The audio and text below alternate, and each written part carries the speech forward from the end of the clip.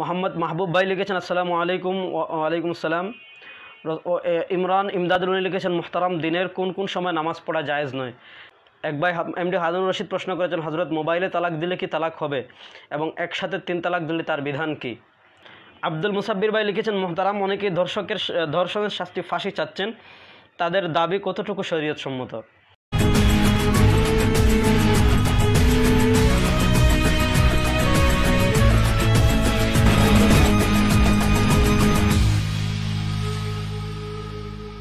আল্লাহ নবী, আল্লাহর নবীকে সৃষ্টি না করলে আসমান জমিন কিছুই সৃষ্টি করতেন না, এটা কি হাদিস? মূলত আমাদের সমাজে লোকমুখে একটি কথা প্রসিদ্ধ রয়েছে যে, হাদিসে কুৎসি হিসাবে একটি কথা প্রসিদ্ধ রয়েছে যে বলা হয় রসুল্লাহ সাল আলহি আসাল্লাম বলেছেন রসুলামকে উদ্দেশ্য করে আল্লাহ রবুল্লা আলমিন বলেছেন লাউলা কালামা হালাক্তুল আফলাক। হে নবী আপনি যদি, আপনাকে যদি সৃষ্টি না করতাম তাহলে আসমান জমিন কোনো কিছু সৃষ্টি করতাম না। তো লোকমুখে যদিও এটা হাদিসে কুৎসি হিসাবে প্রসিদ্ধ, আসলে এটা হাদিস নয়। উস্তাদ মোহতরম মৌলানা মোহাম্মদ আব্দুল মালেক হাফিদুল্লাহ ওনার লিখিত কিতাব এসব হাদিস নয়, যেটা আগে নাম ছিল প্রচলিত জাল হাদিস। সে কিতাবে উনি এটি এ সম্পর্কে বিস্তৃত বিস্তৃত আলোচনা করেছেন, মূলত বিশুদ্ধ কোনো সনদে। এ কথাটি প্রমাণিত হয়নি, এজন্য রসল্লাহ সাল্লাহ আলী ওসাল্লামের শান, মান যদি আপনার আমরা, আপনার বর্ণনা করতে হয়, তাহলে সহি বর্ণনায় যেগুলো সহি সনদে যেগুলো প্রমাণিত রয়েছে সেগুলোই আমরা বর্ণনা করব। রসুল্লাহ সাল আলহি ওসাল্লামের সম্মান বর্ণনা করতে গিয়ে জাল হাদিস সনদবিহীন হাদিস বর্ণনা করার প্রয়োজন নেই।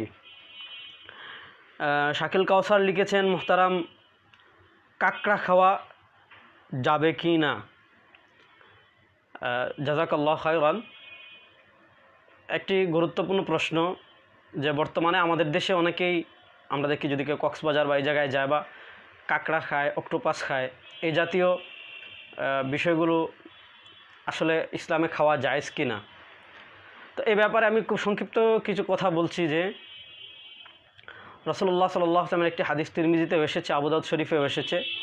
আল্লাহ রসুল সাল্লাহ আলী আসাল্লামকে এক সাহাবি জিজ্ঞেস করেছিলেন যে হাদিসটি সম্ভবত এরকম ইন্না নরকাবুল বাহ ওনাহনু মা আহ, ওনাহনু মা ও মা আনাল কালিল মিনাল মা আফানা আফানা তাওয়াব্বা বিমা ইল বাহ যে আল্লাহ রসুল আমরা সমুদ্রে সফরে যাই তো আমরা যদি সমুদ্রের পানি আমাদের সাথে সুপেও পানি একদম কম থাকে, তো আমরা যদি সেই পানি দ্বারা অজু করি তাহলে আমরা তৃষ্ণার্ত পিপাসার্থ হয়ে যাব। আফানা তবদ্দ ও বিমা ইল বাহ যে আমরা আফানা তবদ্দ ও বিমা ইল বাহরি আমরা কি সমুদ্রের পানি দ্বারা অজু করতে পারব? রসুল্লাহ সাল আলী ওসাল্লাম তখন জবাবে বলেছিলেন হুয়াত্তহু ওমা আহু আল হেল্লু মাইতাতহু। যে সমুদ্রের পানি হলো পবিত্র আর মাইতা হলো তার হেল্লু মাইতাতহু এবং তার মাইতা হলো হালাল। তো এই হাদিসকে সামনে রেখে ইমাম মালিক রহিমাল্লাহর মত হলো যে সমুদ্রের সামুদ্রিক প্রাণী খাওয়া যাবে, সেটা কাঁকড়া হোক। কিন্তু আমরা দেখি রসল্লাহ সাল্লাহ আসলাম এই হাদিস যদিও ব্যাপক, কিন্তু রসল্লাহ আসলাম আরেকটা হাদিসে এই হাদিসের ব্যাখ্যা করে দিয়েছেন যে এই যে কতটুকু যা খাওয়া যাবে এবং কোন প্রাণী খাওয়া যাবে এবং কোন প্রাণী খাওয়া যাবে না সমুদ্রে, সেটা রসুল্লাহ আসলাম নিজেই আরেকটা হাদিসে ব্যাখ্যা করে দিয়েছেন। রসুল্লাহ আসলাম বলেন ওহিল্লাত লানাল আম্মাল মাইতা ফাসামাকু ওয়াল জারাদ ও আম্মাদ দামান ফাল কাবিদ ওয়াত্তেহাল। রসুল্লাহ আসলাম বলেছেন, সমুদ্রের দুটি জিনিস আমাদের জন্য, দুটি মাইদা দুটি মৃত পানি আমাদের জন্য হালাল করা হয়েছে। একটি হলো আসামাক মাছ, আরেকটি হলো আল আল জারাদ টিড্ডি। আর দুটি রক্ত আমাদের জন্য হালাল করা হয়েছে আল কাবিদ ওয়াত্তেহাল তিল এবং কলিজা। তো এই হাদিস থেকে আমরা জানতে পারলাম রসল্লাহ সাল আলী আসসালাম আমাদেরকে সামুদ্রিক যে, সমুদ্রে যে সকল প্রাণী রয়েছে, পানির সাথে সম্পৃক্ত যে প্রাণী রয়েছে, সেগুলোর মধ্যে শুধু মাছ খাওয়ার অনুমতি দিয়েছেন, অন্য কোনো কিছু খাওয়ার অনুমতি দেননি। এজন্য সমুদ্রের কাঁকড়া যেহেতু মাছ নয়, অক্টোপাস যেহেতু মাছ নয়, এগুলো প্রাণী, এজন্য এগুলো খাওয়া জায়েজ নেই। বাকি চিংড়ি এটি মাছ, কারণ ইমাম অভিধান প্রণেতা যারা রয়েছেন ইমাম তাজউদ্দিন ইমাম মুরতাজা হাসান জাবিদি রহিমাহুল্লাহ, ওনার তাজুল আরুসে, ইবনুল মঞ্জির উনি ওনারা এবং ওনারা সুস্পষ্টভাবে লিখেছে যে চিংড়ি এটা মাছ, এবং শেখুল ইসলাম জাস্টিস মুফতি মোহাম্মদ তাকি উসমানী হাফিজাহুল্লাহ বিষয়ে দীর্ঘ একটি প্রবন্ধ লিখেছেন। ওনার যে কিতাব রয়েছে জাদিদ ফিক্কি মাসাইলে, সেখানে উনি সুস্পষ্টভাবে বলেছেন যে চিংড়ি এটা মাছ। সুতরাং চিংড়ি খাওয়া যাবে কিন্তু অক্টোপাস বা কাঁকড়া যেহেতু এটা মাছ নয়, এজন্য এগুলো খাওয়া যাবে না। তারপরে আমাদেরকে আরও অনেক ভাই প্রশ্ন করেছেন ইনশাল্লাহ আপনারা আমাদের সবাই সাথে থাকবেন। আমরা বিষয়ে বিস্তারিত আলোচনা করব। এক ভাই এমডি হারুন রশিদ প্রশ্ন করেছেন হজরত মোবাইলে তালাক দিলে কি তালাক হবে? এবং একসাথে তিন তালাক দিলে তার বিধান কি? তালাক রসুল্লাহ সাল আলহি ওসাল্লাম বলেছেন, সালাসু জিদ্দুহুন্না জিদ্দুন ওয়াহাজলুহুন্না জিদ্দুন। যে তিনটি জিনিস কেউ যদি সিরিয়াসলি ভাবে দেয় তাহলে তালাক হবে, হাসি মুস্কারি করেও দিলে তালাক হবে। তো তালাক মূলত স্বামী স্ত্রীকে দিবে, সেটা সরাসরি দিতে পারে, রিসালা কিতাবতের মাধ্যমেও দিতে পারে। তো সরাসরি দেওয়ার অনেকগুলো সিস্টেম আছে, একটা হলো সরাসরি স্ত্রীর সামনে থেকে দেওয়ার, একটা হলো সরাসরি স্ত্রীকে শোনানো। তো এখন যদি কেউ মোবাইলে তার স্ত্রীকে তালাক দেয় অথবা হোয়াটসঅ্যাপে লিখে দেয় অথবা ইমোতে মেসেজের মাধ্যমে স্ত্রীকে তালাক দেয় তাহলে এটা কিতাবতের মাধ্যমে চলে যাবে মানে লিখিত তালাক, এজন্য তালাক তালাক পতিত হয়ে যাবে এবং একসাথে তিন তালাক দিলে তিন তালাক হবে এটাই কথা। এ বিষয়ে আমার একটা ভিডিও বিস্তারিত আসবে ইনশাল্লাহ যেন আজকে কথা বলছি না। শুধু এতটুকু জানবেন হজরত ইবনা আব্বাস রাজি আল্লাহ তাল আনহুর মত প্রথমে ছিল যে তিন এক তালাক ছিল কিন্তু পরে তিনি নিজেই সেই মত থেকে রুজু করেছেন। এজন্য সকল সাহাবা একরামের ঐক্যমতে তিন তালাক দিলে তিন তালাকই পতিত হবে। যারা বলেন তিন তালাক দিলে তিন তালাক পতিত হবে না তাদের আহ, মাসালাটি তাদের কথা বিশুদ্ধ নয়। প্রিয় দর্শক, এ বিষয়ে বিস্তারিত কেউ জানতে চাইলে মৌলানা ইউসুফ লুদিয়ানবী রহিমাল্লার একটা কিতাব ইখতলাফ উম্মতবর সিরাতে মুস্তাকিম। সে বই এ এ ব্যাপারে বিস্তারিত আলোচনা করা হয়েছে। আপনারা কেউ পড়তে পারেন। আমরা তার পরবর্তী প্রশ্নতে যাচ্ছি। এম ডি ফাইরুজ হাসান, উনি প্রশ্ন করেছেন, একজন মুসলমান হয়ে কবরে সিজদা করা, এটা কি ঠিক? রসুল্লাহ সাল আলহি ওসাল্লাম ইন্তেকালের আগে আমাদেরকে যে সকল কথা শিক্ষা দিয়েছেন তার মধ্যে অন্যতম একটি কথা হলো আল্লাহ ইয়াহুদ ইয়াহুদ ওয়ান নসরা ইত্তাখাদু কবুর আম্বিয়া আহিম মাসাজিদ। রসুল্লাহ সাল আলহি ওসাল্লাম বলেছেন, ইহুদি খ্রিস্টানদের উপর আল্লাহ লানত ভর্ষিত হোক। ইত্তাখাদু কবুর আম্বিয়া ইহিম মাসাজিদ, তারা তাদের নবীদের কবরকে সিজদার জায়গা বানিয়েছে।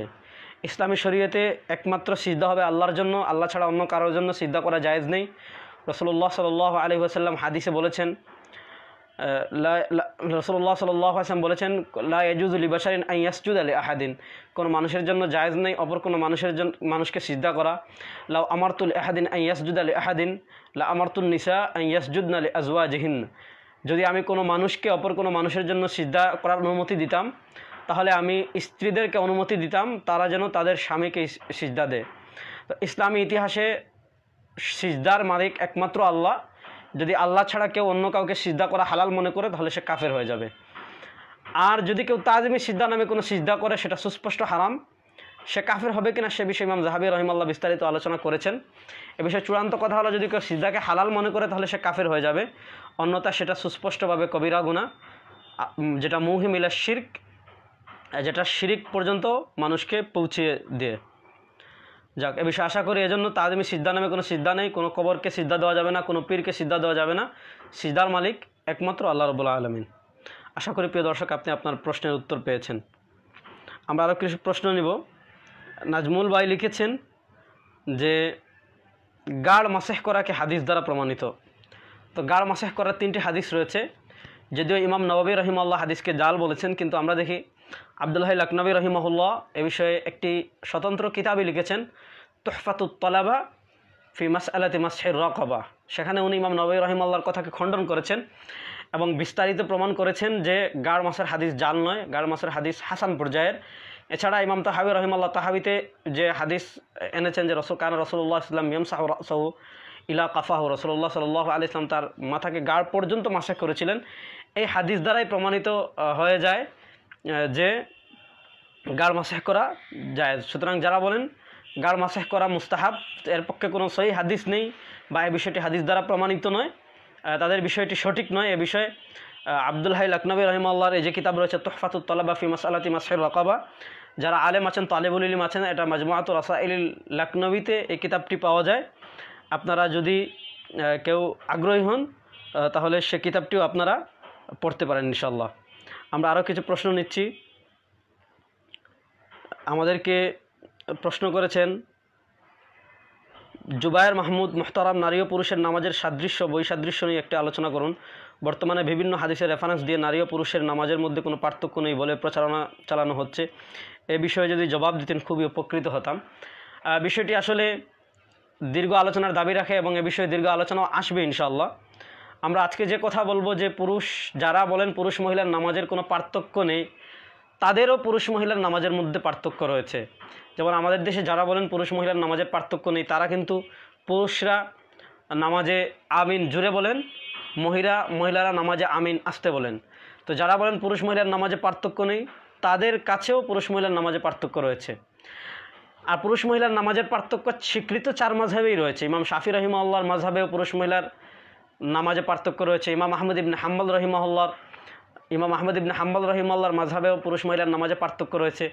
ইমাম শাফি রহিমাল্লার মাঝাবেও পুরুষ মহিলার নামাজে পার্থক্য রয়েছে। ইমাম আহমদ ইবনে হাম্বাল রহিমাল্লার ইমাম আবু হানিফা রহিমাল্লার মাঝহাবেও পুরুষ মহিলার নামাজে পার্থক্য রয়েছে। তো আমি আমাদের দলিলগুলো নিয়ে আজকে আলোচনা করছি না বিষয়ে লম্বা বিস্তারিত আলোচনা পরে করব। আমাদের দেশে যারা বলেন পুরুষ মহিলার নামাজে পার্থক্য নেই, তারা মূলত একটি হাদিস দ্বারা দলিল পেশ করেন যে, সল্লু কামার আই তুমুনি উসল্লি তোমরা নামাজ পড়ো যেভাবে আমাকে নামাজ পড়তে দেখো।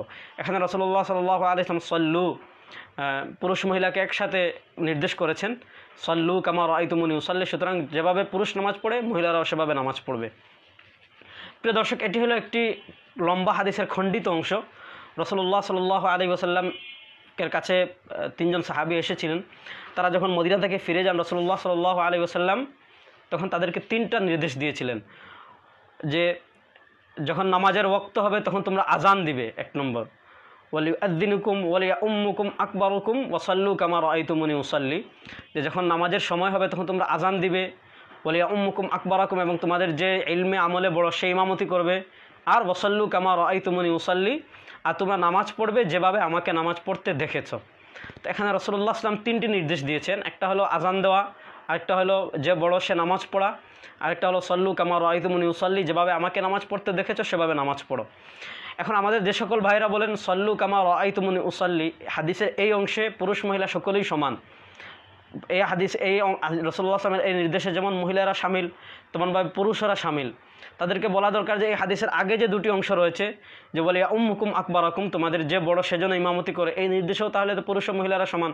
তাহলে বুঝে যাবে যে মহিলা পুরুষের ইমামতি মহিলাদেরকে করতে পারবে। বলি আদুনুকুম আজান দেওয়ার কথা রাসুলস্লাম বলেছেন। তাহলে বোঝা গেল আজান দেওয়ার ক্ষেত্রেও পুরুষ মহিলা সমান, তাহলে মহিলারা আজান দিতে পারবে। কিন্তু আমরা দেখি যারা বলেন হাদিসের শেষ অংশে পুরুষ মহিলা সমান, তারা কিন্তু হাদিসের এই অংশে বলেন যে পুরুষ মহিলা সমান না, তারাও বলেন মহিলারা আজান দিতে পারবে না, পুরুষের ইমামতি মহিলা করতে পারবে না। তো হাদিসের এই দুই অংশ থেকে এটা সুস্পষ্ট হয়ে যায় যে রসল্লাহ সাল্লাহ আলী সাল্লাম সল্লু কামার আইতুমনি উসাল্লি যে হাদিস বলেছেন, এই হাদিসে যে বিধান বর্ণনা করা হয়েছে সেটা রসুলামকে পুরুষদেরকে বলেছেন। পুরুষরা এই বিধানের উদ্দেশ্য। সুতরাং রসুসলাম যে বলেছেন, সল্লু কামার আইতুমনি উসাল্লি এটা দ্বারা পুরুষরা এই উদ্দেশ্য, এই হাদিস দ্বারা পুরুষ মহিলা দুজনের নামাজ প্রমাণিত হয় না। এর জন্য যারা বলেন পুরুষ মহিলার নামাজের পুরুষ মহিলার নামাজের পদ্ধতি একই, তাদের বক্তব্য সঠিক নয়। কারণ চার মাঝহাবেই পুরুষ মহিলার নামাজের পার্থক্য রয়েছে। আর রসুল্লাহ ইসলামের হাদিস ইমাম আবুদাউদ রহিমুল্লাহ কিতাবুল মারাসিল এনেছেন, আন্না রসুল্লাহ সাল আলী ওসাল্লাম মরম রতেন মোহাম্মদ তুসাল্লায়ান। ফকর ইদা সাজাদ তুমা ফজুম্মা বাবুল্লাহমে ইলাল ফা ফাইনাল মর আতা লাইসাদ জালিকাকার রজুল। রসুল্লাহ সুস্পষ্টভাবে বলেছেন, যখন তোমরা সিজদা করবে, তখন একটু ঘুটিয়ে রাখবে নিজেদেরকে। কেন? ফাইনাল মর আতা লাইসাদ জালিকাকার রজুল? সিজদার ক্ষেত্রে মহিলারা পুরুষের মতো নয়। এজন্য যারা বলেন পুরুষ মহিলার নামাজে কোনো পার্থক্য নেই, তাদের মত সঠিক নয়। আমরা দেখি পৃথিবীতে স্বীকৃত চার মাঝহের ইমামদের মতোই পুরুষ মহিলার নামাজের মধ্যে পার্থক্য রয়েছে। আমাদেরকে লিখেছেন আরও অনেক ভাই আরও অনেক প্রশ্ন করেছেন। আমরা সবগুলোই উত্তর দেওয়ার চেষ্টা করব ইনশাআল্লাহ। মোহাম্মদ মাহবুব ভাই লিখেছেন, আসসালামু আলাইকুম ওয়ালাইকুম আসসালাম। ইমরান ইমদাদুল লিখেছেন, মুহতারাম দিনের কোন কোন সময় নামাজ পড়া জায়েজ নয়? তিনটি সময় রসল্লাহ সাল্লাহ আলী ওসাল্লাম আমাদেরকে দুইটা সময় তিনটা সময় নামাজ পড়া নিষেধ। একটা হলো সূর্যোদয়ের সময়, আরেকটা হলো সূর্যাস্তের সময়। এই দুই সময় রসল্লাহ সাল্লাহ আলী ইসলাম আমাদেরকে নামাজ পড়তে নিষেধ করেছেন। কেন? রসলাম বলেছেন ফাইন্না হুয়াতুল ওয়াগুরুব বাইনা কারণাই শৈতান সূর্য উদিত হয় এবং সূর্য অস্তে যায় বাইনা কারণাই শৈতান শয়তানের দুই সিংহের মাঝ দিয়ে এই সময় রসল্লাহ সাল্লাহ আলী সাল্লাম আমাদেরকে আমাদেরকে এই সময় রসল্লাহ আসলাম নামাজ পড়তে নিষেধ করেছেন। আরেকটা হলো ঠিক মধ্য দুপুরে সূর্য যখন ঠিক মাতার উপর থাকে, সে সময় রসল্লাহ সাল্লাহ আলী ওসাল্লাম আমাদেরকে নামাজ পড়তে নিষেধ করেছেন। ফা ইন্না সিদ্দাত আল হার্রে মিন ফাইহি জাহান্নাম। কারণ মানে অতিরিক্ত যে গরম, এটা জাহান্নাম এই সময় ইয়ে ছাড়ে জন্য এই তিন সময় নামাজ পড়া নিষেধ। একটা হলো সূর্যোদয়ের সময়, একটা হলো সূর্যাস্তের সময় আরেকটা হলো সূর্য যখন ঠিক মাথার উপরে, সে সময় নামাজ পড়া যাবে না। এমডি রাসেল ভাই লিখেছেন, আকিকা সাত দিনের পরে দিলে কোনো সমস্যা আছে কি? টাকা না থাকলে দাঁড় দিয়ে আকিকা দেওয়া যাবে কি? আকিকা সপ্তম দিনে করা সন্ন্যত বা পরবর্তীতে যে কোনো বেজুর দিনে করতে পারবেন। তো আকিকা, আমরা দেখি রসল্লাহ সাল্লাহ আলী আসাল্লাম বলেছেন, আনিল গুলামি শাতান ও আনিল জারিয়াতি শাতুন যদি কারও দুটি সন্তান জন্মগ্রহণ করে, তাহলে সে দুটি ছাগল দ্বারা এবং যদি ছেলে সন্তান জন্মগ্রহণ করে তাহলে সে একটি একটি ছাগল দ্বারা আকিকা করবে। তো এ বিষয়ে যদি সপ্তম দিন করতে পারে, তাহলে সুন্না পরবর্তীতে করাও তার জন্য জায়দ আছে, যে কোনো বেজুর দিনও করতে পারে। সেটা আপনার ইচ্ছা দিন আকিকা করা সুন্না আপনি যদি মনে করেন, আপাতত আপনার কাছে টাকা নেই, কিন্তু পরবর্তীতে আপনার হাতে টাকা আসবে, তাহলে আপনি যদি চান সে সময় আকিকা ঋণ করে করতে পারেন, কিন্তু আপনি যদি আসলে ওইভাবে মানে সমস্যা হয় পরবর্তীতে ঋণ ঋণ শোধ করা আপনার জন্য কষ্টকর হয়ে যায়, তাহলে আপনার জন্য আকিকা না করে, ঋণ না করে আকিকা করা উত্তম।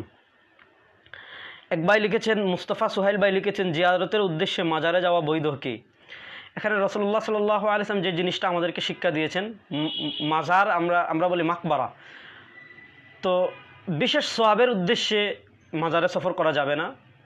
হ্যাঁ তিনটা জায়গায় রসল্লাহ আসলাম আমাদেরকে বিশেষ সোয়াব মনে করে সফর করার অনুমতি দিয়েছেন। লাতুসাদুর রিহাল ইল্লা ইলা সালাসাতি মাসাজিদ, যে বিশেষ সোয়াব মনে করে, বিশেষ আলাদা মর্যাদা রয়েছে। এরা মনে করে ফজিলত লাভ করার উদ্দেশ্যে তিনটা জায়গায় সফর করা যাবে। একটি হলো মসজিদে হারাম, আরেকটা হলো মসজিদে নববী, আরেকটা হলো বাইতুল মকদিস। বাকি বিশেষ ফজিলত মনে না করে কেউ যদি কোনো মাজারে জিয়ারতের উদ্দেশ্যে সফর করতে চায়, পারবে। কিন্তু বিশেষ আলাদা নাকি আলাদা সব মনে করে মাজারের উদ্দেশ্যে সফর করা যাবে না। কারণ নির্দিষ্ট কোনো মাজার বা নির্দিষ্ট কোনো মকবরার আলাদা কোনো ফজিলত হাদিস থেকে প্রমাণিত নেই। কিন্তু যেহেতু বাইতুল মকদিস আর মসজিদে হারাম এবং মসজিদে নবাবির ফজিলত সহি হাদিস দ্বারা প্রমাণিত এজন্য রসুল সাম বলেছেন লাতুসাদুর রিহাল ইল্লা ইল্লা সালাসতি মাসাজিদ। সে সফর করতে পারবে, সমস্যা নেই। বিশেষ কোনো? আব্দুল মাতিন ভাই লিখেছেন হজরত আমার একটা প্রশ্ন, বৃষ্টি হলে দিন বিজলাই কেন এবং গড়গড় করে আওয়াজ কেন করে? আসলে ভাই, আমি আমার, আপনার প্রশ্ন বুঝতে পারিনি। একটু একটু পরিষ্কার করে প্রশ্ন করবেন। আমাদেরকে লিখেছেন এমডি নুরুল হক চার রাকাত বিশিষ্ট নামাজের জামাতে তিন রাকাত পড়া শেষ হয়ে গেলে বাকি নামাজ কীভাবে পড়তে হবে জানাবেন। আসলে আপনার প্রশ্নটা বুঝিনি, হয়তো আপনি তিন রাকাত পড়ার পর আপনি এসে ইক্তেদা করেছেন বা ইমামের অনুসরণ করেছেন, এমনটা হতে পারে। অথবা আপনি তিন রাকাত পাননি তিন রাকাত এক রাকাত পাননি, তিন রাকাত পেয়েছেন, এই বিষয়টা ক্লিয়ার করলে। মানে আপনি যদি ইমাম সাহেবের সাথে এক রাকাত না পান, তাহলে দাঁড়ানোর পর আপনি প্রথম রাকাতকে কী করবেন? খাজা করে নেবেন। মসজিদে দান করা টাকা কি ফেরত নেওয়া যাবে? রসুল্লাহ সাল আলী ইসলাম আমাদেরকে শিক্ষা দিয়েছেন, মান আহদা, যে ব্যক্তি কোনো জিনিস হাদিয়া করল বা কাউকে কোনো জিনিস দান করল, তারপর যদি এটা ফিরিয়ে আনে ফিরিয়ে আনে, কাল কাই ই আউদু ফি, ফিহি। এটার উপমা হলো, কেউ বমি করে এটা মুখে ফিরিয়ে নেওয়া, যেমন ঘৃণিত কোনো জিনিস দান করে দেওয়ার পর, সেটা ফিরিয়ে নাও তেমন ঘৃণিত। তাজুল ইসলাম ভাই প্রশ্ন করেছেন, জানাজার নামাজের পরে দোয়া করা কি? দেখেন আমাদের রসল্লাহ সাল আলী ওসাল্লাম ইবাদা, দোয়া কোন জায়গায় করতে হবে? রসল্লাহ সাল আলী ওসাল্লাম বা সাহাবাই কালাম থেকে জানাজার পর আমরা দোয়া করার জানাজার নামাজের পর সালাম ফিরিয়েই কাতার না ভেঙ্গে আমাদের দেশে দোয়ার যে প্রচলন রয়েছে সেটা রসল্লাহ আসলাম কিংবা সাহাবাই কালাম থেকে প্রমাণিত নয়। যারা এই দোয়ার পক্ষে তারা একটি হাদিস দ্বারা দলিল পেশ করেন, ইবনে মাজার যে হাদিস রয়েছে, ইদা সল্লাই তুম আল মঈত ফখলিসুল্লাহু বিদোয়া ওনারা বলেন যে রসুল আসলাম বলেছেন, ইদা সল্লাই তোমার মাইতি যখন মাইতের উপর দোয়া পড় করবে জানাজা পড়বে ফাখলে সুলাহু বিদোয়া তখন ইখলাসের সাথে দোয়া করো।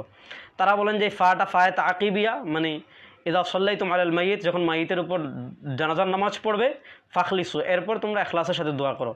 তাদের এই ইস্তেদালটি সঠিক নয়, কারণ আমরা দেখেছি এই হাদিসটি ইমাম ইবনে মাজা রহিমাল্লাহ সুনানে ইবনে মাজাতে এনেছেন। সে অধ্যায়ের নাম হলো বাবু দোয়া ই লিল মাইতি ফিসলা যে নামাজে মাইতের মাইতের জানাজার নামাজে পড়া সংক্রান্ত দোয়া। ইমাম ইবনে মাজা রহিমাল্লাহ অধ্যায় এনেছেন, বাবু দোয়া ই লিল মাইত ফিসলা অর্থাৎ নামাজের মধ্যে কৃত দোয়া সংক্রান্ত এই হাদিস। সুতরাং রসল্লাহ যে বলেছেন ইদা সল্লাই তোমার মাইতে ফাখলি সোলাহু দোয়া। এই হাদিসটি নামাজের মধ্যে পড়া সংক্রান্ত দোয়া। নামাজের পরে নয়, কারণ ইবনে মাজা রহিমাল্লাহ নামাজের মধ্যে পড়া সংক্রান্ত দোয়া সংক্রান্ত এনেছেন। সুতরাং এই হাদিস থেকে যারা নামাজের পরে দোয়ার পক্ষে দলিল পেশ করেন, তাদের দলিল সঠিক নয়। আমরা পরবর্তী প্রশ্নে যাচ্ছি। মুস্তফা ওয়াদুদ শাকিল ভাই লিখেছেন, আসসালামু আলাইকুম শেখ, জেবরা সুন্নিদের নাম গরম সুন্নি কেন? এটা একটা হয়তো প্রশ্ন, আসলে জেবরা সুন্নি কারা, গরম সুন্নি কারা? সুন্নি হলো যারা মা আনা আলাইহি ও আসহাবি, যে যারা রসল্লাহ সাল্লাহ আলি ওসাল্লাম এবং সাহাবা একরামকে অনুসরণ করবে, তারা হলে প্রকৃত সুন্নি আহলুসুন্নাওয়াল জামাতের আহলুসুন্নাওয়াল জামাতের প্রকৃত অনুসারী। কিন্তু আমাদের দেশে যারা দেখে, দেখা যায় কবর পূজা করে, পীরের পায়ে সিজদা করে, মাজারে ডুল তবলা বাজায়, কবরের খাটকে সিজদা করে, এবং কুসংস্কারে ভরা রসুল্লাহ আসলামকে হাজির নাজিরের মতো মহিমিলা শির্ক আকিদা লালন করে তারপরে ইত্যাদি নানা কুসংস্কার, নানা বিদাত এবং শিরকে যারা লিপ্ত তারা নিজেদেরকে সুন্নি দাবি করে। এটা একটা হাস্যকর বিষয়। আমরা পরবর্তী প্রশ্নে যাচ্ছি মোহাম্মদ হাফিজ মোহাম্মদ আজিজুর রহমান, উনি চট্টগ্রাম থেকে প্রশ্ন করেছেন। উনি লিখেছেন, আমি চট্টগ্রাম থেকে বলছি। হজরত সাহেব, আমার প্রশ্ন হলো যে, অনেক জায়গায় নামাজের মধ্যে অন্য জায়গায় ধ্যান, খেয়াল চলে যায়। তো এর জন্য আমাদের করণীয় কী? এবং অনেক সময় নামাজের রাকাতের মধ্যে সন্দেহ চলে আসে যে, নামাজ কত রাকাত হলো? তখন করণীয় কী জানালে উপকৃত হব? ভাই, দুটি প্রশ্ন করেছেন। প্রথম প্রশ্ন হলো যে, নামাজের সময় অন্য কোনো কিছুর খেয়াল আসলে? রসুল্লাহ সাল আদি সাল্লাম হাদিসে জিবরিলে আমাদেরকে শিক্ষা দিয়েছেন যে আং তাবুদ আল্লাহ কা আন্নাকা তারা ফা ইল্লাম তাকুন তারাহু ফা ইন্নাহু ইয়ারাক। যে নামাজে যখন আপনি নামাজ পড়বেন, তখন আপনার ধ্যান থাকবে কথা যে আং তাবুদ আল্লাহ আপনি আল্লাহর ইবাদত করছেন কা আন্নাকা তারা, আল্লাহ যেন আপনাকে দেখছেন, আপনি যেন আল্লাহকে দেখছেন, আল্লাহ আপনার সামনে রয়েছেন। ফা ইল্লাম ইয়াকুন তারাহু, যদি আপনি আল্লাহকে নাও দেখেন ফা ইন্নাহু ইয়ারাক, তাহলে মনে রাখবেন আল্লাহ আপনাকে দেখছেন। এই হাদিস থেকে আমরা জানতে পারলাম, রসুল আমাদেরকে শিক্ষা দিয়েছেন, এই ধ্যান করা যে আল্লাহ আমাকে দেখছেন তাহলে আপনার খেয়াল অন্যদিকে যাবে না। এরপরেও ফকাহায় কালাম মুতাসফিন বুজুর্গদেন আমাদেরকে একটা জিনিস শিক্ষা দিয়েছেন, সেটা হলো, আমরা যখন নামাজ পড়ব, তখন আমাদের কোরআনের যে আয়াত পড়ব, সেটা অর্থের দিকে খেয়াল করব। অর্থের দিকে যদি আমরা খেয়াল করি তাহলে আমরা আমাদের মন সাধারণত অন্য কোনো দিকে যাবে না। দ্বিতীয় যে প্রশ্ন করেছেন, অনেক সময় নামাজের মধ্যে রাকাতের সন্দেহ চলে আসে। এ ব্যাপারে ফোকাহায় কালাম আমাদেরকে শিক্ষা দিয়েছেন ফতোয়া স্বামী তাল্লাম আবিদিন। স্বামী রহিমাল্লাহ সহ অনেকেই উল্লেখ করেছেন যে যে সে যদি প্রথমবার প্রথমবার তার নামাজের রাকাত নিয়ে সন্দেহ হয়, তাহলে সে নামাজ ছেড়ে আবার নতুন করে নামাজ পড়বে। আর যদি বারবার তার এমন হয়, তাহলে সে তার প্রবল ধারণা যত রাকাত, তত রাকাত পড়বে। আর শেষ বৈঠকে আত্মাহিয়াতুর পর সিজদা সিজদায় সাহু দিয়ে দিবে। আব্দুল মুসাব্বির ভাই লিখেছেন, মোহতারাম অনেকে ধর্ষকের ধর্ষণের শাস্তি ফাঁসি চাচ্ছেন। তাদের দাবি কতটুকু শরীয়ত সম্মত দেখেন, ব্যাপকভাবে ধর্ষণের শাস্তি ফাঁসি, শরীয়ত এটা এভাবে বলেনি। মূলত ধর্ষণ বেবিচার এটা দুইটা দিক রয়েছে।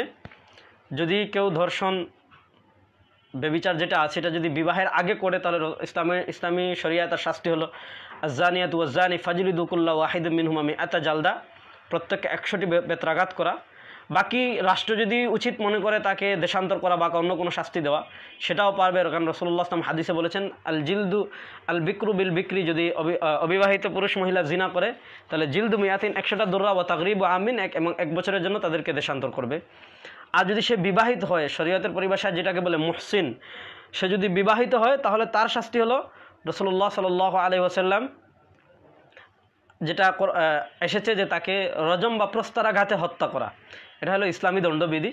তো আমরা দেখি রসল্লাহ সাল্লাহ আসলামের হাদিস এমন অনেক প্রমাণ পাওয়া যায়। আমরা মাইদা ইসলামী রদিউল্লাহ তালাহুর ঘটনা দেখেছি। আমরা গামিদিয়া মহিলার ঘটনাও হাদিসে এসেছে যে তারা জিনা করেছিলেন, বিবাহ করার পর বেবিচার করেছিলেন। এজন্য তাদের শাস্তি হলো তাদেরকে প্রস্তরাঘাতে হত্যা করা। এজন্য আজকে জিনা, বেবিচার, ধর্ষণ এগুলোর শাস্তি হলো এই পর্যায়ে যদি কেউ বিবাহের আগে এগুলো করে তাহলে প্রকাশ্যে তাকে একশোটি বেত্রাঘাত মানে দুর্রা মারা হবে তাকে। আর যদি সে বিবাহিত হয় তাহলে তাকে ব্রজাম বা প্রস্তরাঘাতে হত্যা করা হবে। এজন্য ব্যাপকভাবে ফাঁসি এই দাবি করা ঠিক নয়, কারণ ইসলামী শরিয়া এটার দুইটা দিক রয়েছে, দুই দিকের দুই শাস্তি। আচ্ছা আমাদেরকে লিখেছেন নোমান আহমদ কামরাভি ভাই লিখেছেন, আসসালামু আলাইকুম, কী কী কারণে সিদ্ধাও সব ওয়াজিব হয়? এটা শরীয়তের একটি মূলনীতি মনে রাখবেন, নামাজের যদি ফরজ কোনো বিধান ইচ্ছাকৃতভাবে হোক বা অনিচ্ছাকৃতভাবে হোক, নামাজের যদি কোনো ফরজ বিধান ছুটে যায় তাহলে নামাজ ফাঁসিদ হয়ে যাবে। আর যদি অনিচ্ছাকৃতভাবে নামাজের কোনো ওয়াজিব বিধান ছুটে যায়, তাহলে সিদ্ধা সব ওয়াজিব হবে। কিন্তু যদি ইচ্ছাকৃতভাবে কোনো ওয়াজিব বিধান ছেড়ে দেয় তাহলে তার নামাজ নষ্ট হয়ে যাবে, এই নামাজ আবার পড়তে হবে। আচ্ছা। আমরা আরও কিছু প্রশ্ন যাচ্ছি, ইনশাল্লাহ। আমাদেরকে লিখেছেন শাহরিয়ার হোসেন অপি ভাই লিখেছেন, নারায় রিসালত বলার বিধান কি? এটা এটা কি ইসলামিক, এটা জায়েজ? মূলত যারা আমাদের দেশে নারায় রিসালত, ইয়া রসুল আল্লাহ এই যে স্লোগানটা দেন, প্রথম প্রথমে বলেন, নারায় তকবীর, আল্লাহ আকবর, নারায় রিসালত, ইয়া রসুল আল্লাহ এখানে তাদের একটা সূক্ষ্ম আকিদা রয়েছে। তারা রসুল্লাহ সাল আলী সাল্লামকে রোহানিভাবে সর্ব সর্ব জায়গায় পৃথিবীর সর্বত্র হাজির ও নাজির মনে করেন। এজন্য তারা মনে করেন রসুল্লাহ সাল্লামকে তারা ডাক দিলে রসুল্লাহ সাল্লাহ আসলাম সেটা শুনেন এবং রসুল্লাহ সাল্লাহ আলিয়াম এবং এই আকিদার প্রবর্তন যারা, প্রবর্তক যারা তাদের একজন হলেন আহমদ ইয়ার খান পাকিস্তান ওনার একটা কিতাব আছে জা আল হাক। ওখানে উনি হাজির নাজির আকিদার ব্যাখ্যা করেছেন এবং সুস্পষ্টভাবে লিখেছেন যে রসুল্লাহ সাল্লাহ আলী সাল্লাম পৃথিবীর সব মানুষের প্রয়োজন পূর্ণ করতে সক্ষম। তো এই আকিদা থেকে আমাদের দেশের অনেকেই নারায় রিসালত, ইয়া রসুল্লাহ আল্লাহর পর নারায় রিসালত, ইয়া রসুল্লাহ স্লোগানটা দেয়। তো রসুল্লাহ সাল্লাহ আলী আসলাম মৃত্যুবরণের পর পৃথিবীর প্রত্যেক মানুষের প্রয়োজন পূর্ণ করা, করতে পারেন। এ কথাটা শিরকি কথা। কোরআন সন্না সমর্থন হয় সমর্থন করে না। আর দ্বিতীয়ত রসুল্লাহ সাল্লাহ আসলাম শারীরিকভাবে হোক বা রুহানিভাবে হোক, পৃথিবীর সর্বত্র উনি হাজির নাজির নন। এ বিষয়ে একটা আকিদা যদি আপনাকে লালন করতে হয়, তাহলে কাতইউ সবুত এবং কাতইউ দালালা অকাট্য দলিল লাগে। এ বিষয়ে এটি এমন একটি বানোয়াট আকিদা যে এ বিষয়ে কোনো সহি এবং কাতইউ দালালা কাতইউ সবুত পর্যায়ের কোনো নস নেই। যে নসে বলা হয় যে রসুল্লাহ আসলাম রুহানিভাবে বা জিসমানিভাবে পৃথিবীর সর্বত্র হাজির ও নাজির। তো মূলত যারা নারা রিসালাত স্লোগান দেন, এরা তারা এই তাদের ওই আকিদাকে প্রমাণ করার জন্য ইয়া রসুল্লাহ বলে স্লোগান দেন। তো আমরা এই স্লোগানটা দেই না, কারণ দাফে মুজাররাত থেকে জালবে মানফাত থেকে দাফে মুজাররাত হলে উত্তম। এজন্য আমরা নারা রিসালাত ইয়া রসুল্লাহ স্লোগানটি এড়িয়ে চলবো ইনশাল্লাহ দেখেন, জাকির হুসাইন ভাই লিখেছেন, আলাউদ্দিন জেহাদি সাহেব অ্যারেস্ট হওয়ার পর থানার লোকারে গিয়ে তিনি কষ্টের কথা রসল্লাহ আসলামের কাছে রসল্লাহ আসলামের কাছে বলেছেন, কিন্তু এভাবে বলা জায়েজ হবে কি? দেখেন, ইসলামী শরিয়ার সুস্পষ্ট আকিদা হলো রসুল্লাহ সাল আলিয়াল্লাম মুখতারে কুল না। রসুল্লাহ সাল আলী ওয়াসাল্লাম সুপারিশ করবেন, কিন্তু তিনি মুখতারে কুল না। কারণ কোরআন শরীফের অনেক জায়গায় সুস্পষ্টভাবে বলা হয়েছে উল্লাহ আমলিকুল নাফসি নাফআন বলা দরন ইল্লা মাশা আল্লাহ। যে পৃথিবীর সকল কল্যাণ কল্যাণ এবং পৃথিবীর সব কিছুর মালিক হলেন একমাত্র আল্লাহ তাহলে আমি কারও কোনো উপকারও করতে পারি না, আমি কারও কোনো ক্ষতিও করতে পারি না ইল্লা মাশা আল্লাহ। তবে আল্লাহ যতটুকু চান, ততটুকুই আমি মানুষের উপকার করতে পারি। ইল্লা মাশাল্লাহ যতটুকু আল্লাহ চান ততটুকুই হয়। এবং রসুল্লাহ আমাদেরকে শিক্ষা দিয়েছেন কুল্লা ইজতামা আতিল ইংসুয়াল জিন্নু আলা ইয়াং ফাউকা বিশাইন লা ইয়াং ফাউকা বিশাইন ইল্লা কদ কাতাবাহুল্লাহ লাক ওলা ইনিজতামা আতিল ইংসুয়াল জিন্নু আলা আই ইয়াদুরুকা বিশাইন লা ইয়াদুরুকা বিশাইন ইল্লা কদ কাতাবাহুল্লাহ লাক। যে পৃথিবীর সবাই মিলে আপনার কোনো উপকার বা ক্ষতি করতে পারবে না। পৃথিবীর সবাই মিলে আপনার ততটুকুই উপকার বা ক্ষতি করতে পারবে, যতটুকু আল্লাহ রব্বুল আলমিন তাকদিরে লিখে রেখেছেন। ওলাবিজ তামাতিল ইংসুল জিন আলা ইয়াজুরু কা বিষয়ইন লাই ইয়াজুরু কা বিষয়ইন ইল্লা কদ কাতাবাহুল্লাহ লাক। পৃথিবীর সকল মানুষ এবং পৃথিবীর সকল জিন মিলে আপনার কোনো ক্ষতি করতে পারবে না। ইল্লা কদ কাতাবাহুল্লাহ লাক, ততটুকুই করতে পারবে যতটুকু আল্লাহ তাকদিরে লিখে রেখেছেন। এজন্য আপনি যদি বিপদে পড়েন তাহলে ডাকবেন আল্লাহকে, কারণ বিপদ থেকে উদ্ধার করেন আল্লাহ। এজন্য রসুল্লাহ সাল্লাহ আলি ইসলামও বিপদের যে মুহূর্তগুলো এসেছিল তার উপর তখন আল্লাহর দিকে মনোনিবেশ করেছেন, আল্লাহর কাছে দোয়া করেছেন। বদরের যুদ্ধের সময় আমরা দেখি, মক্কা বিজয়ের সময় আমরা দেখি, হুনাইনের যুদ্ধের সময় আমরা দেখি রসুল্লাহ আসলাম আল্লাহর কাছে দোয়া করেছেন। হ্যাঁ আপনি বিপদে পড়ে আল্লাহর কাছে দোয়া করার সময় যদি রসুল্লাহ সাল্লাহ আলী ওসাল্লামের ওসিলা দিয়ে রসুল্লাহ সাল্লাহ আলী সাল্লামের মাধ্যম দিয়ে দোয়া করেন, সেটা করতে পারেন। কিন্তু আপনি যদি এই নিয়তে, এই আকিদা রেখে দোয়া করেন যে রসুল্লাহ আসলামকে আমি দোয়া করব রসুল্লাহ আসলামী কবর থেকে এসে আমাকে রসুল্লাহ আসলামী হাজির নাজির আছেন। রসুল্লাহ আসলামীকে আমাদের উদ্ধার উদ্ধার করবেন? এটা শিরকি আকিদা, এটা লালন করা যাবে না। স্বয়ং রসুল্লাহ সাল্লাহ আলী ইসলাম আমাদেরকে এই আকিদা শিক্ষা দেননি। কোরআন, হাদিস এর সুস্পষ্ট একাধিক নসের বিপরীত এই আকিদা। এজন্য যদি কেউ এই নিয়তে করে, তাহলে তার ইমান সংশয়ে পড়ে যাবে। আচ্ছা। আরও অনেক ভাই আমাদেরকে প্রশ্ন করেছেন। আমরা সবগুলো প্রশ্নের উত্তর দেওয়ার চেষ্টা করব। আশা করি সবাই আমাদের সাথে থাকবেন। আমাদেরকে জয়সাল সুমান ভাই লিখেছেন, হুজুর কোয়ারেন্টাইনে জুম্মার নামাজ আদায় করা যাবে? এ বিষয়ে আসলে পূর্বে আমরা বিস্তারিত আলোচনা করেছি, এজন্য আলোচনা করছি না। এমডি মতিউর রহমান লিখেছেন, হুজুর, আমি পুলিশে চাকরি করি, প্রায় সময় হিন্দুদের সাথে বন্ধুত্ব সৃষ্টি হয়। তাদের বাসায় গেলে কিছু খাওয়া যাবে কিনা এবং বন্ধুত্ব বন্ধুত্ব রাখা যাবে কিনা? দেখেন, ইসলামী শরিয়া খাবারের ব্যাপারে মূলনীতি হলো যে যে খাবারগুলো, কিছু খাবার এমন আছে যেগুলো সবার জন্য জায়েজ, যেমন ভাত, চাল, তারপর তরকারি, মাছ, এগুলো সবার জন্য যায় এগুলো যদি হিন্দুদের ঘরে গিয়েও আপনি খান, খাওয়া যাবে, সমস্যা নেই। কিন্তু আপনি হিন্দুর ঘরে গিয়েছেন এমন প্রাণী মুরগ তাহলে আপনাকে দেখতে হবে তারা যে জবেহ করেছে, তাদের জবেহ কিন্তু হালাল না। কারণ ইসলামী শরিয়ার বিধান হলো ওলা তাকুলু মিম্মা লাম ইউযকার ইসমুল্লাহ আলাই যে কোনো প্রাণী জবেহ করার সময় যদি বিসমিল্লা বলা না হয় ইচ্ছাকৃতভাবে বিসমিল্লা ছেড়ে দেওয়া হয়, তাহলে সে প্রাণী খাওয়া জায়েজ নেই। হিন্দুরা যেহেতু আল্লাহর নামে জবেহ করে না, এজন্য হিন্দুদের বাড়িতে যদি গেলে মুরুক টুরুক এগুলো তাদের জবাই জবেহকৃত হয়, তাহলে সেটা খাওয়া কিন্তু জায়েজ নেই, জিজ্ঞেস করবেন। আর যদি মুরুকটা বাজার থেকে হয়, কোনো মুসলমানদের দোকান থেকে কেনা হয়, তাহলে সেটা খাওয়া যাবে, সমস্যা নেই। কিন্তু হিন্দুদের ধর্মীয় যে খাবারগুলো রয়েছে, যেমন প্রাসাদ বা এই জাতীয় যেগুলো, তারা তাদের ভগবানের নামে উৎসর্গ করে, সে খাবারগুলো খাওয়া কোনো মুসলমানদের জন্য জায়েজ নেই এবং হিন্দুদের কোনো উৎসবে অংশগ্রহণ করাও কোনো মুসলমানদের জন্য জায়েজ নেই। আশা করি মহতারাম আশা করি আপনার প্রশ্নের উত্তর পেয়েছেন। অপু হুসাইন এ বিপি হুসাইন ভাই লিখেছেন, আসসালামু আলাইকুম। হুজুর, আপনি কি সুন্নি না?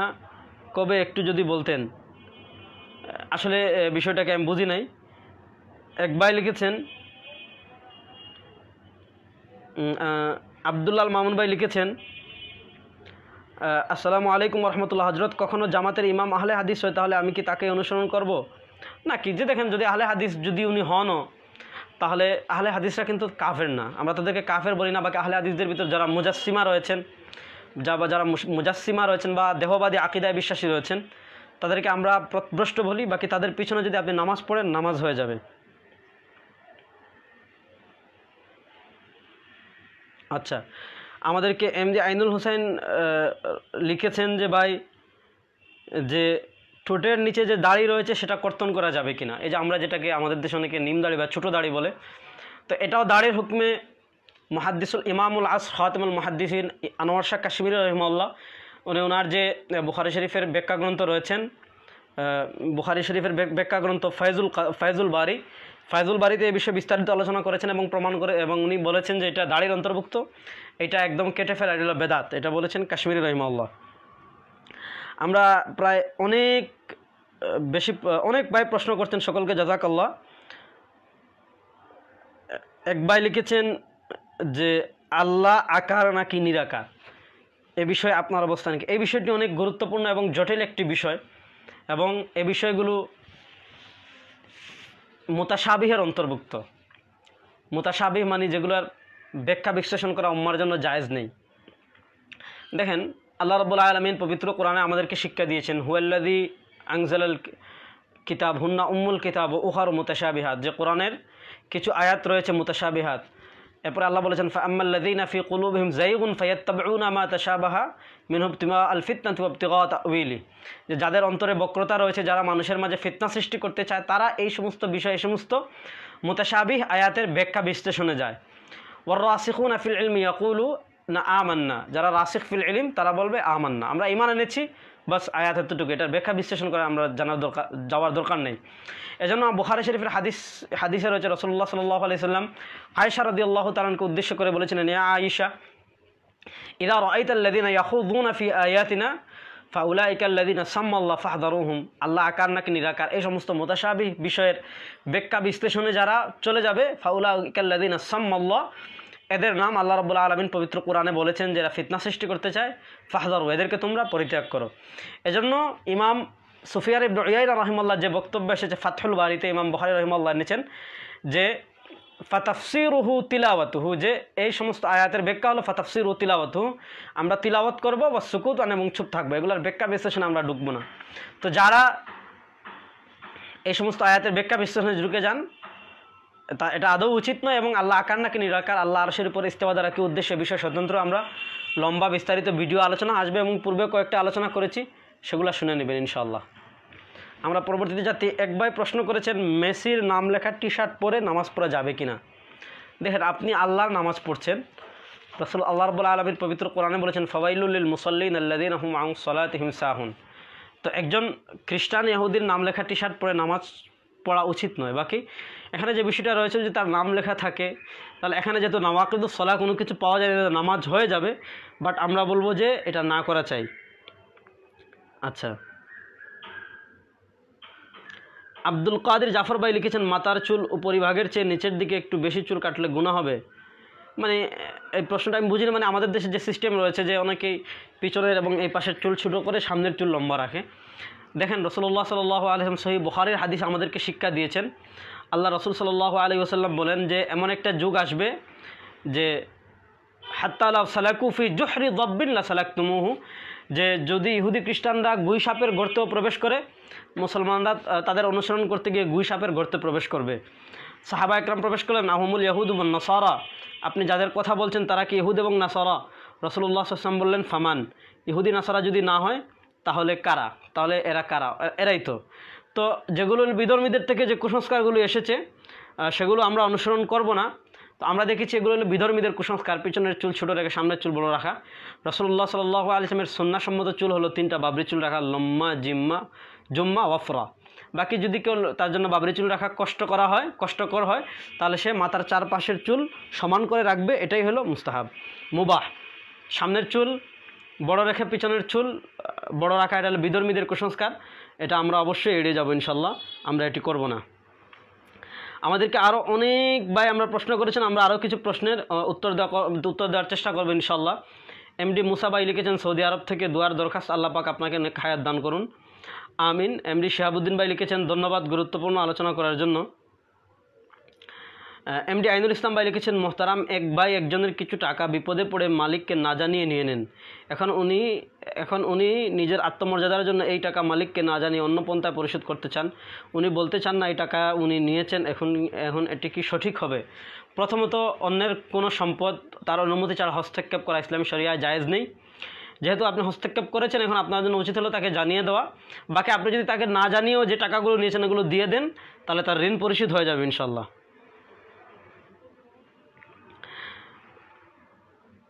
আবু তৈব আল হুসাইন প্রচলিত ব্যাংকিং ব্যবস্থায় ডিপিএস করা জায়েজ কিনা? তো প্রচলিত ব্যাংকিং আসলে বর্তমান পৃথিবীর অর্থনীতি হলো সুদভিত্তিক। আপনি ডিপিএস করতে পারবেন, কিন্তু যে লাভগুলো আসবে, সেটি আপনি সবের নিয়ত ছাড়া সৎকা করে দিতে হবে, এটি সুদ। মাসুদ আক্তার ভাই লিখেছেন, আসসালামু আলাইকুম, সম্মানিত শায়েক আমি আপনার সাথে কথা বলতে চাই। আপনার নাম্বারটা একটু মেসেজ করবেন। ইনশাআল্লাহ, আসলে এভাবে তো নাম্বার দেওয়া সম্ভব না তারপরে চেষ্টা করব। আরও কিছু ভাই আছেন যারা ব্যক্তিগত প্রশ্ন করেছেন, একান্ত ব্যক্তিগত প্রশ্ন। সেগুলো আসলে ইনবক্সে বা ফোনে যোগাযোগ করার চেষ্টা করবেন, যাওয়ার চেষ্টা করব। ইনশাল্লাহ মমিনুল ইসলাম লিখেছেন, নতুন ঘর তৈরি করে উদ্বোধনের ক্ষেত্রে মিলাদ পড়া যাবে কি? দেখেন, মিলাদ মানে রসুল্লাহ আসলামের জন্ম। রসুল্লাহ আসলামের জন্ম, এটা করার বিষয় নয়, জন্ম এটা আলোচনার বিষয়। আপনি রসুল্লাহ আসলামের জন্মের আলোচনা যে কোনো সময় করতে পারেন। তো নতুন ঘর উদ্বোধন করে মিলাদ, এই শব্দই ঠিক না এখানে প্রয়োগ করা। তো রসুলামের জন্মের আলোচনা। এর সাথে ঘর উদ্বোধনের সম্পর্ক, আসলে কোনো সম্পর্ক নাই হ্যাঁ? আপনি নতুন ঘর যেহেতু উদ্বোধন করতে চাচ্ছেন, আপনি যদি খায়ের বা বরাকার নিয়তে দোয়া করতে চান, সেটা করতে পারেন। এর সাথে মিলাদের আসলে কোনো সম্পর্ক নেই। মোহাম্মদ ইব্রাহিম মালিক ভাই লিখেছেন, আল্লাহ আপনার এলিমকে বৃদ্ধি করে দেন, আমিন। এমডি ইব্রাহিম ভাই লিখেছেন, সুন্নাতবিহীন নামাজ আল্লাহর নিকট কত- কতটুকু গ্রহণযোগ্য?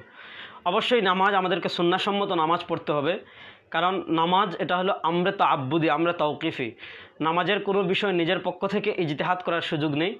নামাজ এটা সম্পূর্ণভাবে রসুল্লাহ সাল্লাহ আসলাম থেকে সাহাবা একরাম শিখেছেন সাহাবা একরাম থেকে তাবেইনরা শিখেছেন তাবেইনরা তবে তাবেইন থেকে শিখেছেন, এভাবেই এসেছে। কিন্তু এখানে যে জিনিসটা মনে রাখতে হবে আমাদের দেশে নামাজের অনেক মাসআলা এমন রয়েছে যে মাসআলাগুলো হলো তানব্বে সুন্না মানে নামাজের মাসালার ক্ষেত্রে সন্ন্যার ভিন্নতা রয়েছে। রসুল্লাহ সাল আলী ওসাল্লাম থেকেই একাধিক সুন্না রয়েছে। যেমন নসরুল্লাহ আসলামের নামাজের ক্ষেত্রে আমরা দেখি, নাবির উপরেও হাত বাঁধার কথা হাদিসে এসেছে, নাবির নিচেও হাত বাঁধার কথা হাদিসে এসেছে। দুটোই সুন্না এটা হলো সুন্নার ভিন্নতা। আমিন জুড়ে বলার কথাও হাদিসে রয়েছে, আমিন আসতে বলার কথাও হাদিসে রয়েছে। সুরা ফাতেহা পড়ার কথাও আছে, না পড়ার কথাও আছে। তো এগুলো হলো সুন্নার ভিন্নতা। এখন সুন্নার ভিন্নতা যেগুলো আছে, সেগুলো সেখানে যদি কেউ একটা সুন্নার উপর আমল করে, তার নামাজ হয়ে যাবে। আমাদের দেশে যে সমস্যাটা হয়, যে এক এলাকায় অনেক দিন থেকে একটা সুন্না প্রচলিত আসছে, প্রচলিত হয়ে আছে। সেখানে আরেকটি সুন্নার দাওয়াত দিয়ে মানুষকে বিভ্রান্ত করা হয় এবং বলা হয় যে, অপর যে লোকরা সুন্নার উপর আমল করছে, তাদের নামাজ সুন্না অনুযায়ী হচ্ছে না। এটা ফিতনা। এটা সাহাবা একরামের দাওয়াত, দাওয়াতের উসুল না, মূলনীতি না। এবং আমরা যদি দেখি শাহুল ইসলাম ইবনু তাইমিয়া রহিমাল্লাহ যে উসুল দাওয়া, দিনের দাওয়াতের যে মূলনীতি নিয়ে আলোচনা করেছেন, সেটার বিপরীত। এজন্য সুন্নার ভিন্নতা আছে। আপনারটাকে একমাত্র সুন্না মনে করা যাবে না। আর অনেক ভাই প্রশ্ন করেছেন, মুন্তাসির আলম ভাই লিখেছেন, ব্যাংক থেকে সুদে প্রাপ্ত টাকা সোয়াবের নিয়ত না করে মসজিদে যাওয়া যাবে না। মসজিদ হলো আল্লাহর ঘর। ইন্নামাল মাসাজিদ মুনিয়াতলিল ইবাদা। মসজিদকে বানানো হয়েছে আল্লাহর ইবাদত করার জন্য। তো আল্লাহ, আল্লাহর মসজিদকে এতটাই মুখাপেক্ষী এবং এতটাই সমস্যার মধ্যে পড়ে গেল যে আপনি আপনার সুদের টাকা মসজিদে দিবেন, সুদের টাকা আপনি দরিদ্রদেরকে দেন সোয়াবের নিয়ত ছাড়া। আর আপনার যদি মসজিদে দিতে হয় তাহলে আপনার হালাল যে ইনকাম রয়েছে সেটা থেকে আপনি মসজিদে দান করেন। এমডি ইব্রাহিম হজরত ভাই প্রশ্ন করেছেন হজরত মোহরানার বিনিময়ে তালাক চাওয়া যাবে কি না এটা একটা প্রশ্ন যেটা হলো যেটাকে ফিরকের পরিভাষায় বলে খোলা। অর্থাৎ কোনো স্বামী তার স্ত্রীকে তালাক দিচ্ছে না কিন্তু আবার স্বামী ও স্ত্রীর সাথে এই এই, স্ত্রী ও স্বামীর সাথে সংসার করতে আগ্রহী না। অর্থাৎ স্ত্রী এই স্বামীর সাথে সংসার করতে চাচ্ছে না। এখন সে কী করবে? তো শরিয়া একটি পদ্ধতি রেখেছে খোলার বিনিময়ে। যে স্ত্রী স্বামীকে বলবে যে আমি তোমাকে এত টাকা দিব বা আমি মহারানা মাফ করে দিব, তুমি আমাকে ছেড়ে দাও। এটাকে খোলা বলে। তো খোলা, এটা আমাদের হানাফি মাঝাব অনুযায়ী যদি কেউ খোলা করে, স্বামী থেকে বিচ্ছিন্ন হয়ে যায়, তাহলে এক তালাকে বাইন পতিত হবে। তো এই হিসাবে যদি কেউ মহারানার বিনিময়ে খোলা করে, খোলা মানে বিবাহ বিচ্ছেদ করে, তাহলে বিবাহ বিচ্ছেদ হয়ে যাবে এবং সাথে সাথে স্ত্রীর উপর এক তালাক পতিত হবে। কিছু ভাই, অনেক ভাই নাম্বার চাচ্ছেন আসলে নাম্বার এইভাবে দেওয়া সম্ভব না, তারপরেও চেষ্টা করব ইনশাল্লাহ ইনবক্সে আপনারা পার্সোনালি যোগাযোগ করবেন, আমি নাম্বার দেওয়ার চেষ্টা করব ইনশাল্লাহ আমরা আরও কিছু প্রশ্ন নেব ইনশাল্লাহ প্রিয় দর্শক, আপনারা অনেকে সাথে আছেন এবং অনেক জিনিস জানার চেষ্টা করছেন। আপনাদেরকে জাজাকাল্লাহ। যারা আরও আরও অনেক ভাই অনেক প্রশ্ন করছেন, আমরা সবগুলোই নেওয়ার চেষ্টা করব ইনশাল্লাহ এমডি ইয়াকুব ভাই লিখেছেন মাশাল্লাহ এমডি নাইমুর রহমান ভাই লিখেছেন, ঈদে মিলাদুলনবী কি জায়েজ? এই বিষয়ে আসলে আমার অনেক আলোচনা পূর্বে আলোচিত হয়েছে। ঈদে মিলাদুলনবী নামে ইসলামে কোনো ঈদ নেই। সাহাবা একরাম ঈদে মিলাদুলনবী নামে কোনো ঈদ পালন করেননি। এটা ছয়শো হিজড়ি পরে শুরু হয়েছে। রবিল আওয়াল এ বিষয়ে আরও বিস্তারিত আলোচনা হবে।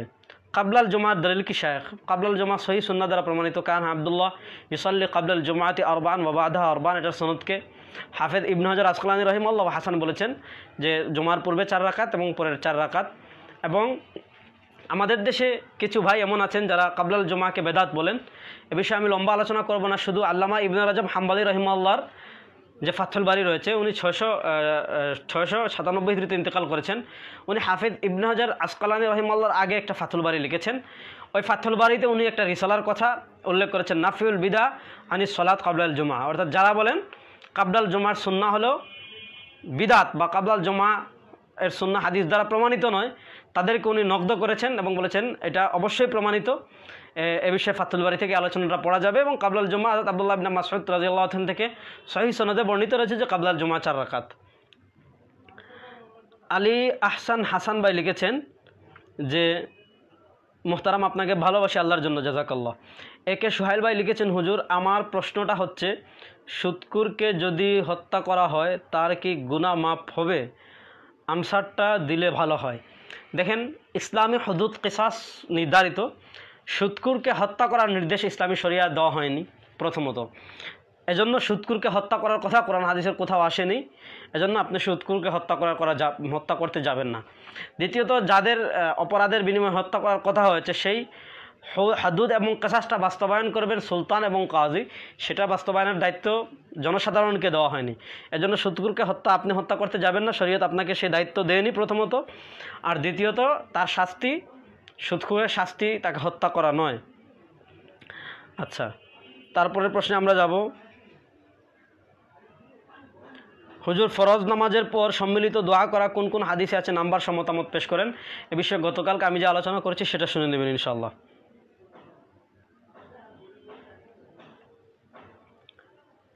সাইফুল ইসলাম, সাইফি ভাই লিখেছেন, ইসলামে নারীর অধিকার নিয়ে কিছু বলুন। এ বিষয়ে বিস্তারিত আলোচনা এগুলো হবে ইনশাল্লাহ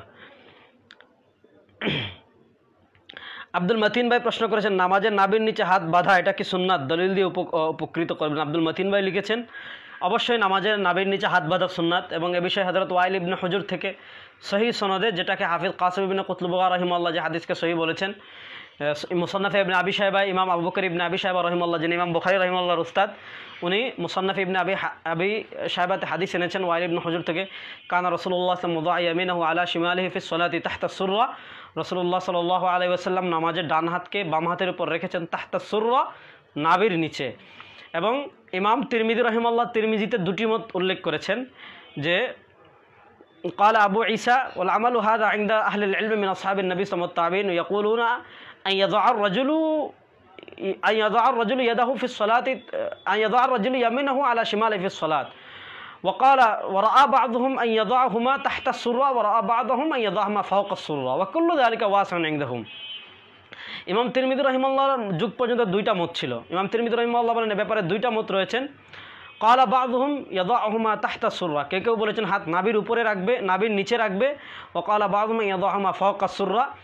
আর কেউ কেউ বলেছেন নাবির উপরে রাখবে। ওকুল্লু দালিকা ওয়াসনিং দহম দুটাই হাদিস সম্মত। নাবির উপরেও হাত বাঁধা যাবে নাবির নিচেও হাত বাঁধা যাবে। তো ইমাম তিরমিদি রহিমাল্লাহর যুগ পর্যন্ত আমরা জানলাম, বুকের উপর হাত বাঁধার কোনো মাঝাবি ছিল না। বুকের উপর হাত বাঁধার কোনো মতই ছিল না। যদি বুকের উপর হাত বাঁধার কোনো মত থাকতো, তাহলে অবশ্য অবশ্যই সেটা ইমাম তিরমিদি রহিমাল্লাহ উল্লেখ করতেন। এজন্য বুকের উপর হাত বাঁধার কোনো মত কোনো ইমাম থেকে বর্ণিত হয়নি। একটা মত আমাদের মুজাফর বিন মুসিন সাহেব ইসাক ইবনে রাহুয়াই থেকে উল্লেখ করেছেন। এবং খুদ আলবানি রহিমাল্লাহ এটা তার সলাতু সিফাতি সলাতি নবীতে লিখেছেন ইরওয়া উল গলিলাও লিখেছেন যে আসাদুল্নাথ বিহাদ সুন্না ইসহাক ইবনে রাহুয়া।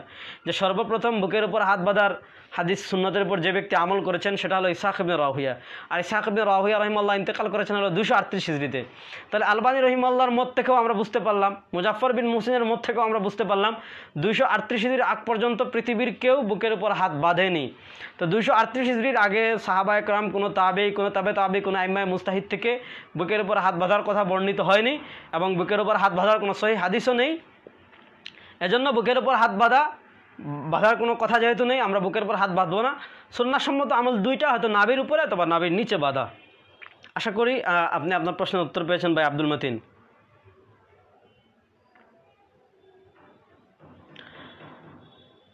দিলওয়ার হুসাইন লিখেছেন, দেওয়ানবাগি বলতেছে রসুস্তামের ওফাত দিবস এক বা দুই রবিল বলে এ বিষয়ে আপনার ব্যাখ্যা কি? সে বললে কি আর না বললে কি? সে তো কাফের। এবং দেওয়ানবাগি তো ঠাটকা কাফের। ওমান সাক্কাফি কুফরিহিম। তার কুফরের ব্যাপারে সন্দেহ করলেও এর ইমান সংখ্যায় পড়ে যাবে। তো একজন কাফের রসুল্লাহ সাল্লাহ আলাইসাল্লামের জন্ম তারিখ, মৃত্যু তারিখ কত তারিখে? সেটা বারোই রবিউল নাকি নয় রবিল আউ্য়াল, নাকি এক রবিল আউ্য়াল, নাকি দুই রবিল আউ্য়াল? সেটা নিয়ে একজন কাফের আপত্তি করার দরকার কি? সে তো এগুলার নিয়ে আলোচনার যোগ্য না। যে কাফের, সে তো কাফেরই। রসুল্লাহ আসলাম কত তারিখ ইন্তেকাল করেছেন? সেটা ভিন্ন কথা। আমরা ইনশাআল্লাহ এই বিষয়ে বিস্তারিত আলোচনা পরবর্তীতে করব রবিল আউ্য়াল মাসে ইনশাআল্লাহ। রশিদ আহমদ ফারুকি ভাই লিখেছেন, একাধিক লাশ হলে জানাজা পড়ার সময় লাশগুলোকে কীভাবে রাখবে? লাশগুলোকে চাইলে এক কাতারেও রাখতে পারে, এক লাইনে। ইমাম সাহেব মাঝে দাঁড়াবে অথবা একটার পর একটা রাখতে পারে। তো সর্বপ্রথম সবচেয়ে বড় যে, তাকে ইমাম সাহেবের সামনে রাখবে, বাকিগুলো তাদের ইয়ের সাথে রাখবে। হজরত এমডি শহীদুল ইসলাম ভাই লিখেছেন হজরত এক ভাই আমাকে এক লক্ষ টাকা দিতে চায় ব্যবসার জন্য। তাকে কি ফিক্সড কোনো লাভ দেওয়া যাবে কি? তো সে যদি আপনি মুরাবাহা মুরাবাহা ব্যবসা করতে চান যে একজনের একজনের টাকা আরেকজনের শ্রম, তো সে ব্যবসা শরীয়তের যা, শরীয়তে সে সুযোগ রেখেছে। শরীয়ত আপনাদেরকে এই এই অপশন রেখেছে, যে এই ব্যবসা করাটা। তো আপনি যদি চান যে, আমি ব্যবসা করব, এত টাকা লাভ আপনাকে দিব, শরীয়ত সে সুযোগ রেখেছে। আচ্ছা। হাফিজ কামরুল হাসান জালালি ভাই লিখেছেন, নামাজের আজানের আগে দূরত পড়া যাবে কি? দেখেন, দুরুদ শরীফ আজান, এটা হলো নামাজের জন্য ঘোষণা। রসুল্লাহ সাল্লাহ আলিসাম সাহাবায় কালাম কারও থেকে এই কথা প্রমাণিত নয় যে ওনাদের ওনারা আজানের আগে দুরুদ শরীফ পড়েছেন। হ্যাঁ রসুল্লাহ আসলাম আমাদেরকে শিক্ষা দিয়েছেন আজানের পর দুরুদ শরীফ পড়া। রসুল্লাহ সাল্লাহ আলী ওসাল্লাম এই কথা বলেছেন যে আজানের পর মানসল্লাহ মানসল্লাহ আলাইয়া বাদা আদান, যে ব্যক্তি আজানের পর আজানের পর দূরত পড়বেন এই, এবং এই দোয়াটা পড়বে ওজাবাত লৌ সাফাহাতি তার জন্য আমার সাফাত ওয়াজিব। এজন্য আমরা আজানের আগে দূরত পড়ব না, বরং দূরত পড়ব আমরা আজানের পরে। আচ্ছা। ইমরান হোসেন সালেহি ভাই লিখেছেন, শাহ বুকের উপর হাত বাঁধার কোনো হাদিস আছে কি না? এ বিষয়ে আমরা পূর্বে বিস্তারিত আলোচনা করেছি ইনশাল্লাহ এমডি হানুরুর রশিদ ভাই লিখেছেন, বারাকাল্লাহ বারাকাল্লাহ জাজাকাল্লাহ এমডি মাইন বিন লুকমান লিখেছেন, কেমন আছেন? এরপরে আরে অনেক আরও আরও অনেক ভাই প্রশ্ন করেছেন, তৌফিকা জান্নাত লিখেছেন, মোহতারাম আধুনিকতার যুগে মহিলারা মুখ খুলে চলাফেরা করতে পারবে? মহিলাদের চেহারা, এটা হলো সতেরোর অন্তর্ভুক্ত। এ বিষয়ে আরব বিশ্বের সমাদৃত আলেম শেখ সালে আল উসাইবিন রাহিমাহুল্লাহ, উনি এ বিষয়ে হিজাবুল মারা একটি রিসালা লিখেছেন মহিলাদের পর্দা, মহিলাদের চেহারা পর্দার অন্তর্ভুক্ত কিনা। প্রায় দেড়শো পৃষ্ঠার মতো এই রিসালাটা এবং উনি খুব জোর গলায় শেখ সালে আল উসাইবিন রহিমাল্লাহ চার মাসাবের ইমামদের ইজমা নকল করেছেন যে মহিলাদের চেহারা অন্তর্ভুক্ত। এজন্য মহিলাদের চেহারা মহিলাদের চেহারা অন্তর্ভুক্ত সতেরের অন্তর্ভুক্ত এটাই চূড়ান্ত কথা। বাকি আবুদাউদের যে হাদিস রয়েছে, আসমা বিনতে আবু বকর রদিল্লাহ থেকে যে তাকে তাকে হজরত আয়সা রদিল্লাহ তাল্লাহ মুখ খোলার অনুমতি দিয়েছিলেন, সেটা হলো হাদিস জয়ীফ। সেই হাদিসটি জয়ীফ, সনদের দিক থেকে জয়ীফ, এজন্য সেটা দ্বারা আহকাম প্রমাণ করা যাবে না। বাকি কিছু কিছু হাদিসে রয়েছে যেটা নামাজে নামাজে মুখ খোলার কথা বা মাহরামের সামনে মুখ খোলার কথা। এজন্য মাহরাম আর নামাজের হাদিসকে নিয়ে সর্বাবস্থা সব ক্ষেত্রে প্রযোজ্য করা যাবে না। ডক্টর জিন্নাত রহমান লিখেছেন আহ, তাহাজ্জুদ নামাজের উত্তম উত্তম সময় রাত কয়টা? রসল্লাহ সাল্লাম আমাদেরকে জিজ্ঞেস করা হয়েছিল যে আয়ুস সলাতে আফজল? কোন নামাজটা সর্বোত্তম? রসলাম বলছেন জাউফিল্লাইল রাতের শেষ প্রহরে। এজন্য তাহাজুদের নামাজের উত্তম সময় হলো রাতের শেষ প্রহর রাতের তৃতীয় ভাগ। আর রসুল্লাহ আসলাম আমাদেরকে এটাও শিক্ষা দিয়েছেন যদি কেউ শেষ রাতে উঠবে এটা নিশ্চিত না হয় তাহলে সে ঘুমানোর আগে যেন তাহাজুদের নিয়তে দুই রাকাত নামাজ পড়ে নেয়। আসলে এত প্রশ্ন এসেছে যে যে সবগুলা প্রশ্নের সবগুলা প্রশ্নের উত্তর দেওয়া আজকে আজকে সম্ভব না। এজন্য আমরা অনেকগুলো প্রশ্নের উত্তর দিয়েছি। আর আজকে যেহেতু লাইভ প্রোগ্রাম প্রথম পর্ব, আমরা কন্টিনিউ চেষ্টা করব প্রতি সপ্তাহে একদিন। আরেকটু আরেকটু গোছালোভাবে এবং আরেকটু লম্বা সময় নিয়ে লাইভে এসে লাইভে এসে আপনাদের প্রতিটি প্রশ্নের উত্তর দেওয়ার। তো প্রিয় দর্শক, আজকে যেহেতু প্রথম লাইভ প্রশ্নোত্তর পর্ব হয়েছে, আশা করি যে অপূর্ণতা, যে ভুল ত্রুটি হয়েছে সেগুলো ক্ষমা ক্ষমা ক্ষমা সুন্দর দৃষ্টিতে দেখবেন। আর যে উত্তরগুলো দিয়েছি, ফামিন আসওয়াবানি ফামিন আল্লাহ যদি সঠিক উত্তর দেই, তাহলে সেগুলো আমার পক্ষ থেকে। ওয়াইন আখতা যদি ভুল করে, ফামিন ওমিনের শয়তান তাহলে সেটা আমার এবং শয়তানের পক্ষ থেকে। আল্লাহ রব্বুল আলমিন আমাদের সকলকে আমৃত্যু সঠিক পথে পরিচালিত করে- করার চেষ্টা করুন। আর আল্লাহ রব্বুল আলমিন যদি আমাকে তফিক দান করেন, তাহলে প্রতি শুক্রবার বাদ মাগরিব লাইভে প্রশ্ন উত্তর দেওয়ার চেষ্টা করব। তো সে পর্যন্ত সবাই ভালো থাকবেন, সুস্থ থাকবেন। আল্লাহ রব্বুল আলমিন আমাদেরকে আমৃত্যু হেদায়তের পটল রাখুক আমিন। সুবহানাক আল্লাহ বেহামদিকা